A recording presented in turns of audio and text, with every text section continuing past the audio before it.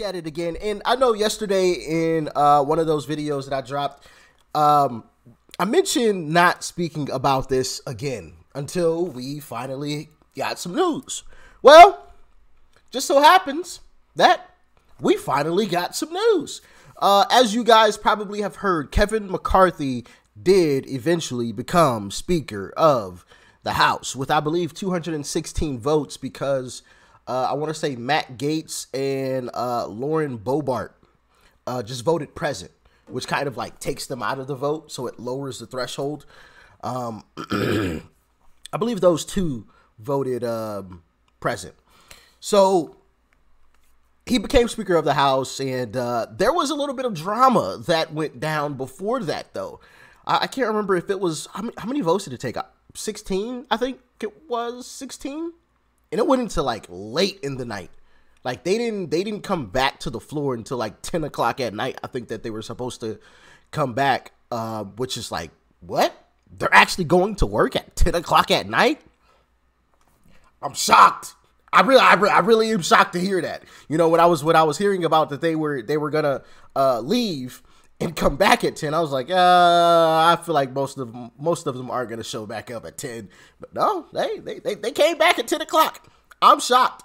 This, this is this is more work than they've ever done in like the past four years. I mean, it's crazy. They've done more work in these past three days than they've done in the past four years. It's it's absolutely amazing, and had even more debates you know, in the past three days and they've had, you know, over the past probably 10 years, really.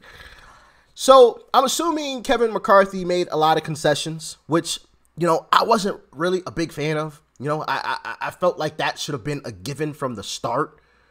Um, that shouldn't have even been a debate. Like you're you're supposedly a Republican. We we shouldn't have to force you to give us, you know, certain things.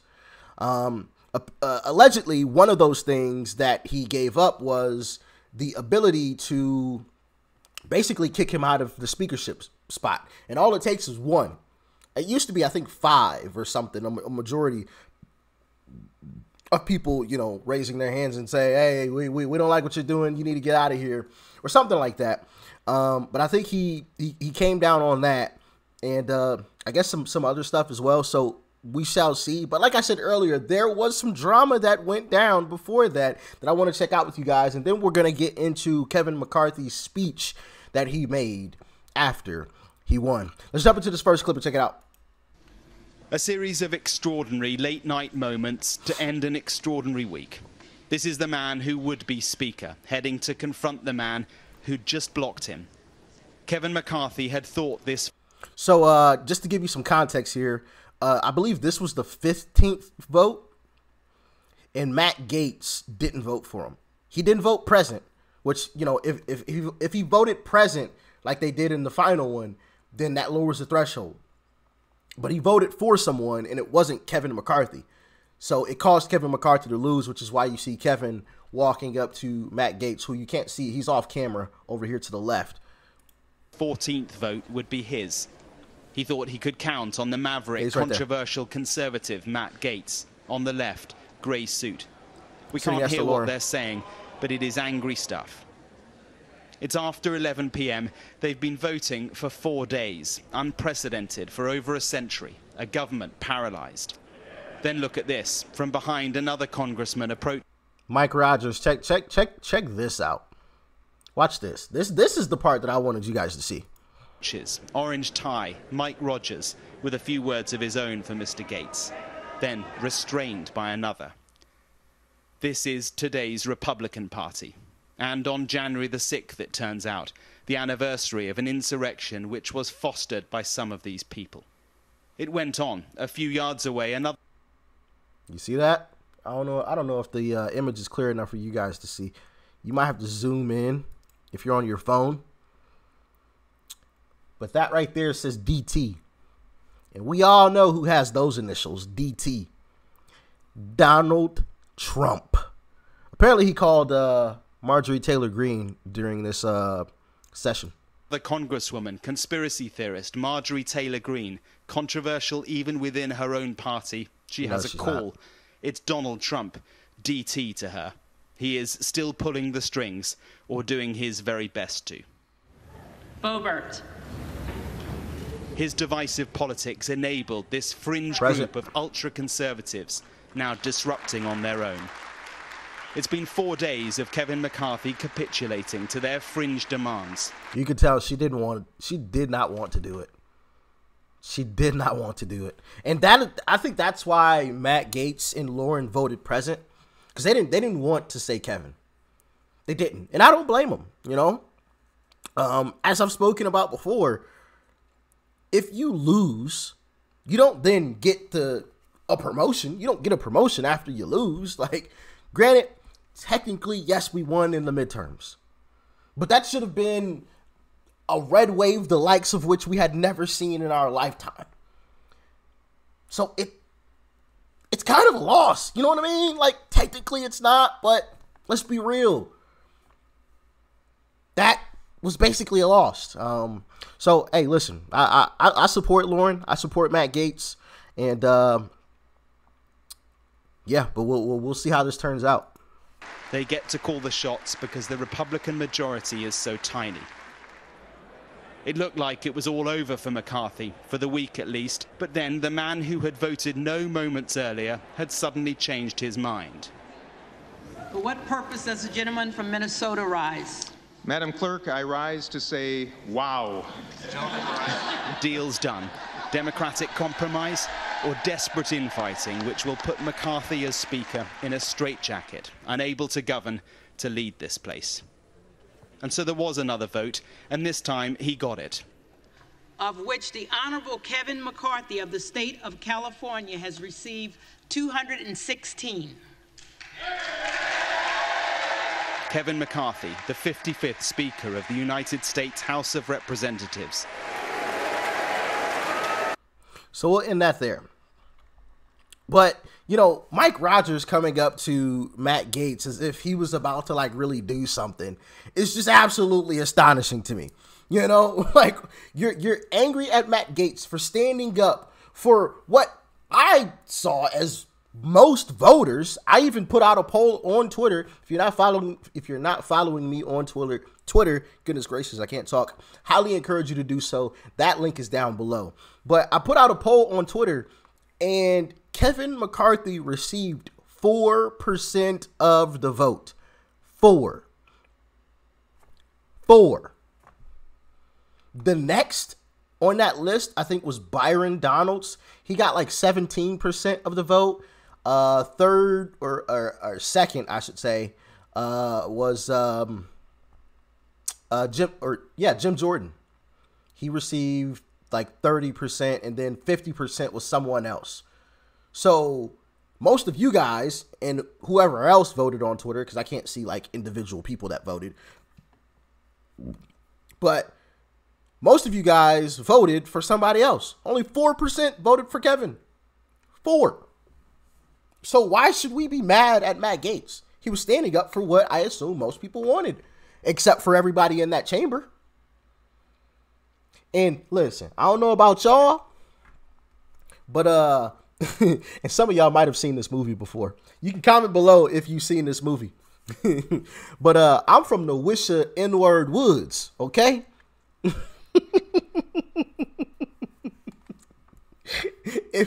if you know what I'm talking about, he says I'm from the Wisha nigga woods, but I'm from the Wish a person woods, meaning like I, I wish a person would try me, like F around to find out. Like, bro, if I'm sitting there, you coming to me like that, bro. Like, I mean, if you want it, he asked for it. I'm sorry, but you know what I'm saying? Like, don't don't don't walk up like you about to do something. Like, come on. Like, really? Really? Really, Mike? Really, Mike? Stop. Stop it. It's, it's cool to have a conversation. I 100% agree with that, but like to come up and, and do what Mike Rogers did was just absolutely despicable. But let's check out a piece of uh, Kevin McCarthy's speech that he gave after he won. Let's, let's dive into it. It is now my solemn responsibility to hand over the people's gavel to a son of Bakersfield, a former small business owner, a proud product of a firefighter's household. The gentleman from the great state of California and the next Speaker of the 118th Congress, Kevin McCarthy.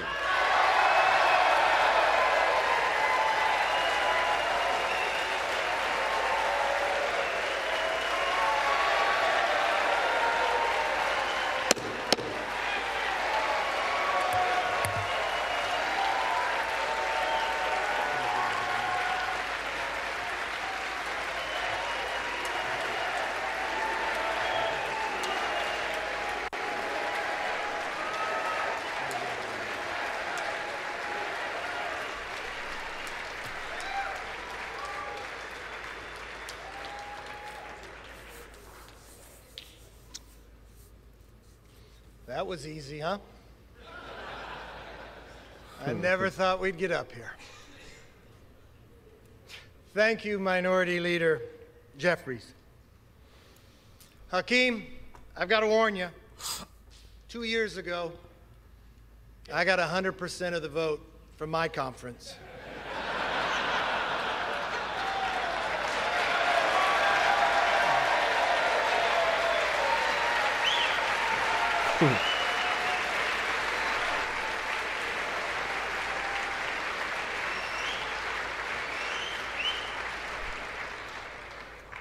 There's somebody else I want to thank. The gentlelady who served as our presiding officer this week, our clerk, Cheryl Johnson. Thank you. She did do a great job.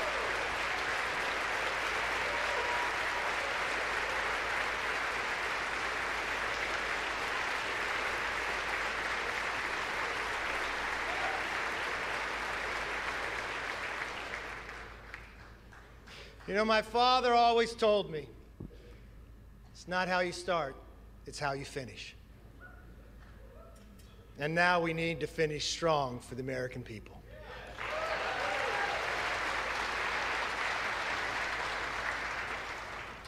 You know, if a son of a fireman and a grandchild of immigrants can rise to the highest position in the most important legislative body in our country, and if my colleague, Hakeem Jeffries, with his life story, can rise to lead his party, then opportunity and democracy still thrive in America.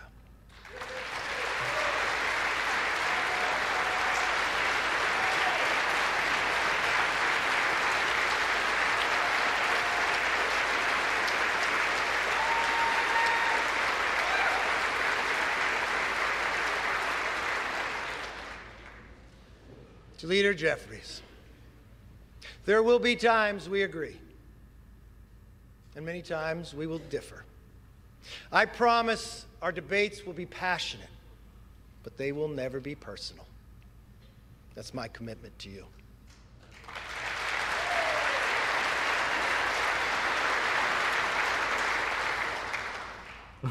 and now, like I'm not making that commitment begins. to you, though. what we do here today next week, next month, next year will set the tone for everything that follows. Tonight, I want to talk directly to the American people. As Speaker of the House, my ultimate responsibility is not to my party, my conference, or even our Congress.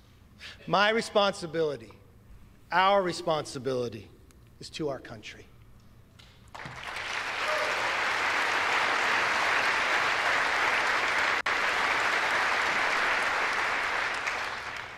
Two months ago, you voted for a new direction for our country. Uh-huh. You embraced our commitment to America. And now we're going to keep our commitment to you.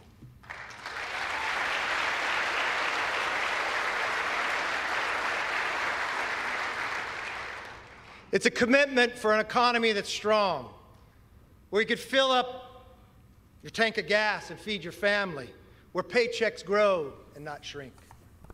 It's a commitment for a nation that's safe, where communities are protected, law enforcement is respected. I mean, that all sounds good, but how are you going to do that? And criminals are prosecuted.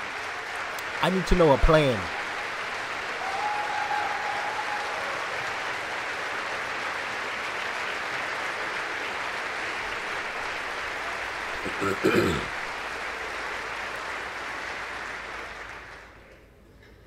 A commitment for the future that's built on freedom, where children come first and are taught to dream big. Because in America, dreams can still come true. A commitment for a government that is held accountable, where Americans get the answers they want, need, and deserve. Our system is built on checks and balances. It's time for us to be a check and provide some balance to the president's policies.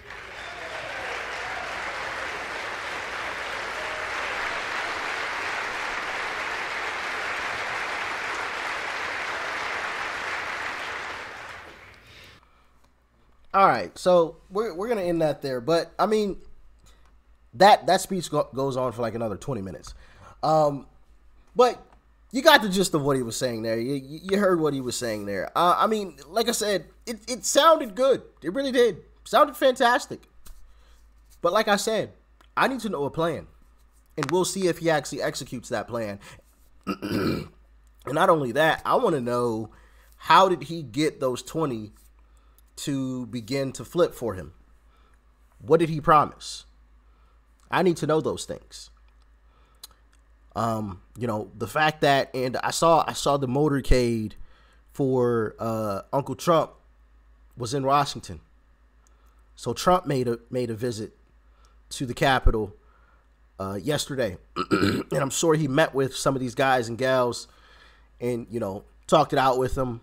I'm almost positive he did. And uh, as you guys probably know, he called uh, Marjorie Taylor Greene, uh, as you saw in the in the uh, previous clip.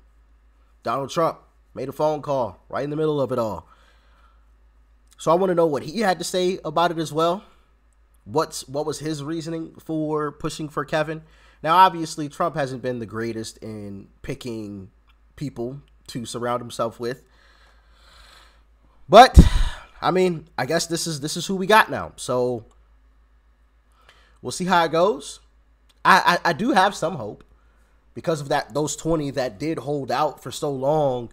I do have a good feeling that they they were able to make some good conversations and um if if he gets out of line, I do believe that they'll be able to to actually do something about it instead of just kind of sitting on their hands. Um, but only time will tell. We shall see. How do you guys feel about it? Like it, love it, hate it, disgusted? Let me know in the comment section below. Like, share, comment, hit that subscribe button before you go. Peace and love. I'm out.